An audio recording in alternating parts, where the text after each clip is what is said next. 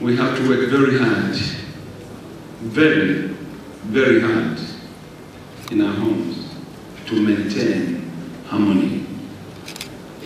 Harmony will not just come. There's no instant solution to marriage.